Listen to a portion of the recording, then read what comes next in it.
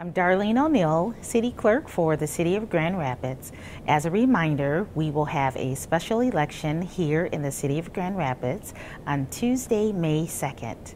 If you would like to participate in the election but you are not registered to vote, please register to vote by April 3rd.